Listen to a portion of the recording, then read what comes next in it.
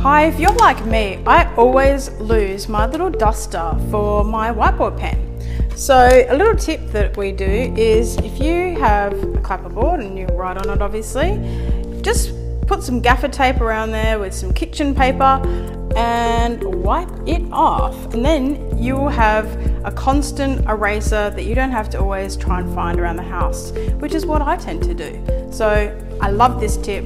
Enjoy. See you later.